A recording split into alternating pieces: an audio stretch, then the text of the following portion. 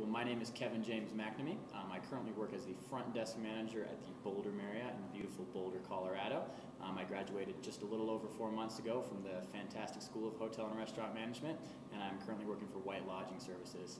Um, been a been a great jump. Was a quick jump from graduation, quick to my career, and I loved it so far. So can't wait to see what the future has in hold. I'd say the biggest jump, the biggest thing that helped me was the HRM Career Fair.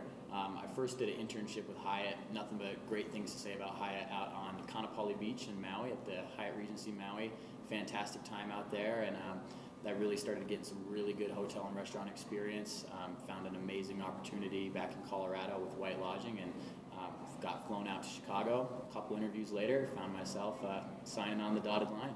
They do have a couple internships out in Hawaii. It is a little tougher because you do want to go out there for a, an extended period of time. I was there for a six month internship, so I was actually receiving credit while I was getting the experience, while I was enjoying my days off on the beach. So I can honestly say that the reason I got that internship was the HRM Career Fair. Um, they've helped me through so many obstacles and helping me get so many connections. It's really been a blessing. Advice would definitely be to follow your dreams and follow your drive. You know, I think um, you'll learn through time where you want to be in the hospitality industry, whether it's working in a restaurant, whether it's behind the scenes at a hotel, or whether it's front and center with the guests. I think that this uh, industry we work in is very, very diverse and has a lot of different opportunities for a diverse group of kids like we are here. And I think that, uh, hey, I, I don't want to say I got lucky, but I, I, had the help along the way to get where I needed to be. So, born and raised in Colorado, really wanted to, you know, get out and try something new. My sister went to ASU and just wasn't the place for me.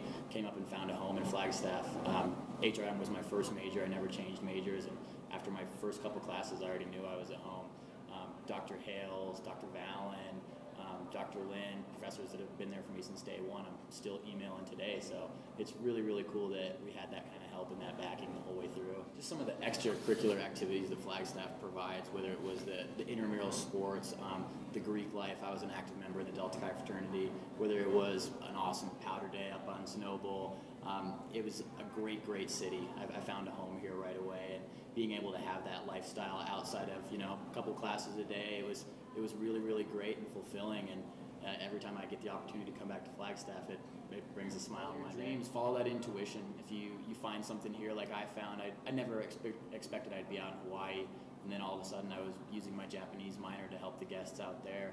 Um, I never found myself working as a front desk manager nine days after graduation out of college, and uh, being four months in, I think I'm doing a, a great job so far. I think that the hotel is, is the place where I want to be, and I can't, you know, thank school enough for helping me get where I am today.